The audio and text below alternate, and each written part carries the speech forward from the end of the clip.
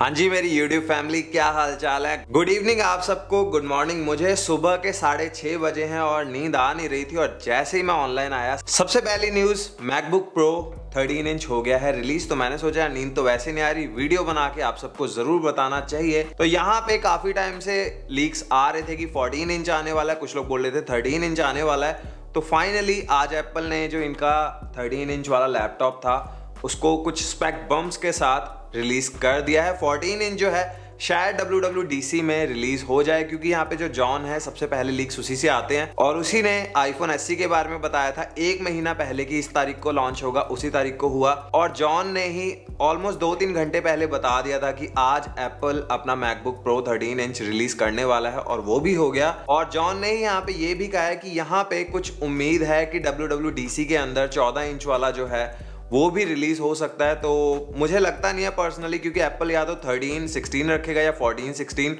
तीन MacBook Pro के model definitely नहीं हो सकते, ये मुझे लगता है। तो मेरे हिसाब से जो अभी मैकबुक प्रो की लाइनअप रहेगी, वो यही रहेगी। Thirteen inch and sixteen inch अब मुझे नहीं लगता फोर्टीन इंच आएगा। अब बात करते हैं थर्टीन इंच की। प्राइस जो है वो एग्जैक्टली सेम है, जो बेस मॉडल का प्राइस है, जो कि होता है 1299 यूएस डॉलर्स बट यहाँ पे जो स्टोरेज है वो डबल हो गई है पहले के कंपैरिजन में. पहले हमें यहाँ पे 128 जीबी मिलता था. अब यहाँ पे आपको मिलेगा 256 जीबी बेस मॉडल में, जो 1299 वाला है.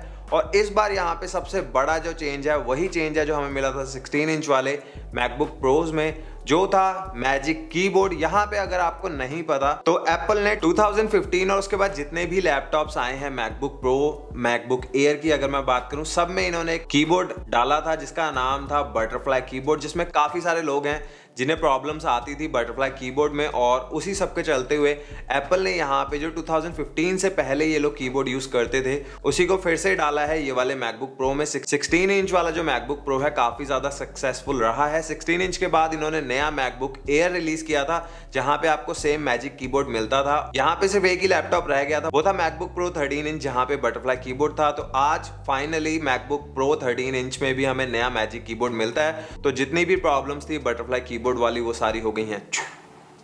तो अब उसकी कोई भी टेंशन नहीं है। अब एक बहुत ही बड़ा चेंज जो आपको देखते ही पता चल जाएगा, क्योंकि जो कीबोर्ड है, शायद आपको ना पता लगे, क्योंकि जब आप टाइप करोगे, तब ज़्यादा पता चलेगा कीबोर्ड का।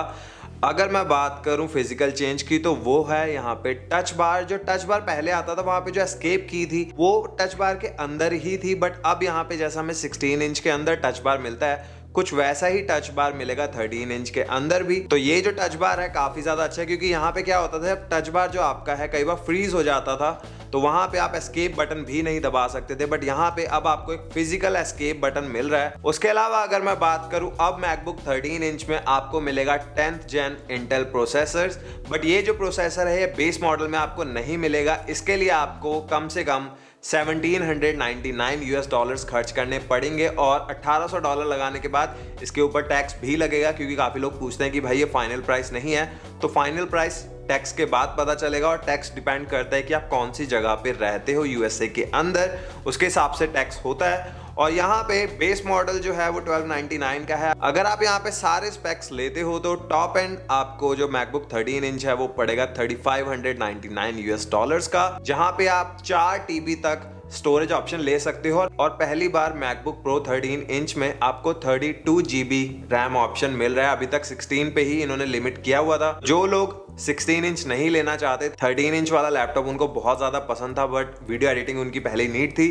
तो अब ये वाला जो लैपटॉप है, वो नीड्स को बिल्कुल पूरा करेगा। और यहाँ पे टेंथ जेन इंटेल प्रोसेसर के साथ ही नए इंटेल आयरिस प्लस ग्राफिक्स भी मिल रहे हैं, जो कि अब सपोर्ट करते हैं प्रो डिस्प्ले एक्सडीआर को और यहाँ पे MacBook Pro 13 inch full 6K resolution को सपोर्ट करता है। तो अगर आप मैकबुक प्रो 13 इंच लेते हो और प्रो डिस्प्ले XDR को इसके साथ यूज़ करना चाहते हो तो आप कर सकते हो। ये एक बहुत ही कमाल की चीज़ है और एप्पल का ऐसा कहना है कि जो नया इनका इंटेल आयरस प्लस ग्राफिक्स है इसकी वजह से 80% फास्टर परफॉर्मेंस आपको मिलेगी 4K वीडियो एडिटिंग के टाइम पे। तो बहुत ही कमाल की न्यूज़ है क्योंकि ऑब्वियसली ऐसे जो लैपटॉप्स हैं वो ज़्यादातर वीडियो एडिटर्स ही लेते हैं या प्रोफेशनल्स लेते हैं। तो, तो उनका जो वर्क फ्लो है वहाँ पे ये जो फास्टर परफॉर्मेंस है काफ़ी सारा टाइम उनका बचाएगी तो एक गुड न्यूज़ है सारे ही प्रोफेशनल्स के लिए, और स्पेशली उन लोगों के लिए जो लोग ट्रैवल बहुत ज़्यादा करते हैं, क्योंकि जितने लोगों को मैं जानता हूँ जो बहुत ज़्यादा ट्रैवल करते हैं, वो हमेशा मैकबुक प्रो थर्टीन इंच ही प्रेफर करते हैं सिक्सटीन की बजाय, क्योंकि परफॉर्मेंस सेम ही रहती है बट जो फॉर्म फैक्टर है वो थोड़ा छोटा हो जाता है। और यहाँ पे अगर आप वेबसाइट के ऊपर देखोगे तो आपको चार डिफरेंट डिफरेंट रेंजेस दिख रही होंगी। पहली जो दो रेंजेस है, अगर हम उनको हटा दे तो वहाँ पे आपको एट जीबी रैम मिल रही है तो एट जीबी रैम में आपको टेंथ जेन इंटर प्रोसेसर नहीं मिलेगा। अगर आपको नए वाले प्रोसेसर चाहिए तो आपको सिक्सटीन जी बी रैम वहाँ पे चाहिए होगी और उस मॉडल के लिए आपको सेवनटीन नाइनटी नाइन पे करने पड़ेंगे। अब अगर मैं बात करूँ कि कब से आप ले सकते हो तो आप आज से ही ऑर्डर कर सकते हो और इस वीक के एंड तक आपको आपका मैकबुक प्रो थर्टीन इंच मिल जाएगा। और ये है लेटेस्ट न्यूज़ मैकबुक प्रो को लेकर। तो आप मुझे कॉमेंट्स में बताओ, आप कितने एक्साइटेड हो मैकबुक प्रो थर्टीन इंच को लेकर। मुझे रहेगा आपके कॉमेंट्स का इंतज़ार। वीडियो को करता हूँ खत्म। अब आपसे मिलूँगा नेक्स्ट वीडियो में। तब तक के लिए टेक केयर Bye bye.